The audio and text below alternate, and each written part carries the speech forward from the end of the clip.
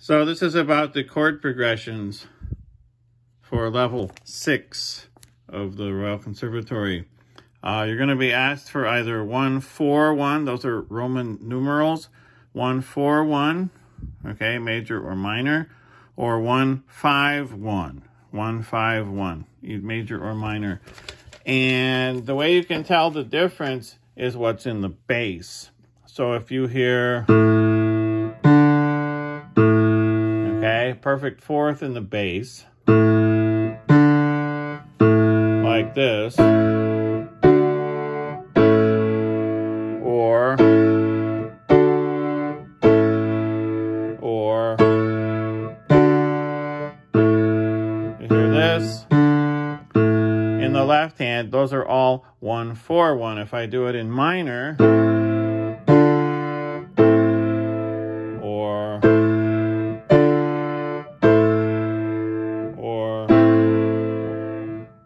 what's the other one?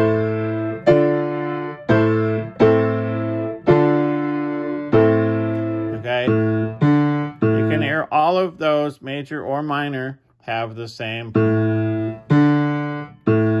The other one is where you have the fifth in the bass.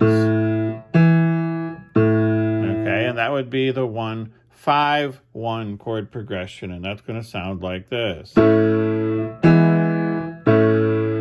Or, or,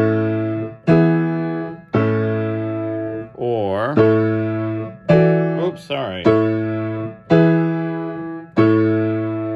Or I can do it in minor. Or, or,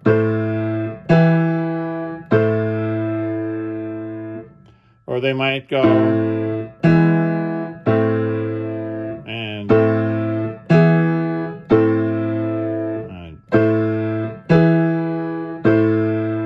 so what matters is whether you hear which is one four one or which is one five one. And when we play these we're supposed to be highlighting the bass line so there you have it. One four one or one five one